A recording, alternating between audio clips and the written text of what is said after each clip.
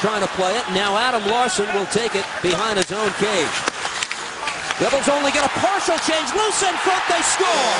Stephen Weiss set it up for Steve. But Adam Larsson here, I don't know where he's